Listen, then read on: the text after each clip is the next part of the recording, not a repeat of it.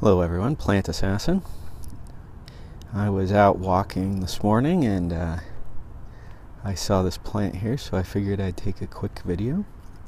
So, this is gumweed, and I believe it is curly cup gumweed. there are three species that are native to Idaho. One of them is quite rare and it grows higher up in the mountains, and the other one grows. Um, further north than this one, although we're kind of right at the edge of the range, and that would be the Idaho gumweed. But the curly cup gumweed is common um, in this area, so they they look similar, but I'm pretty sure this one's the curly cup. And so the reason it's called gumweed is it this whole plant is sticky. So now the uh, this gumweed plant it grows in disturbed areas, so it is something of an agricultural pest, but it uh, does have some uses.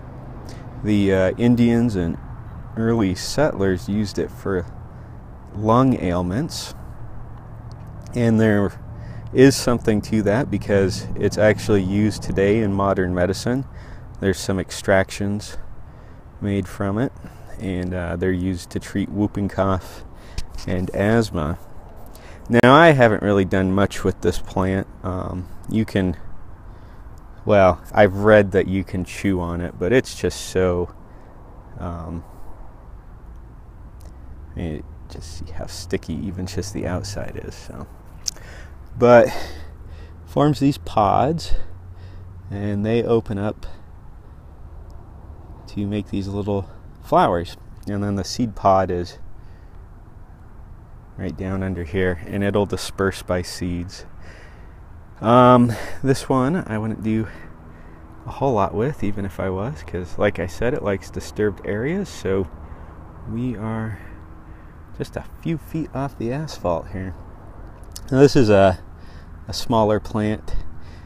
Um, other individuals will get to be, you know, a foot or two in height and then they spread out. We got another one here.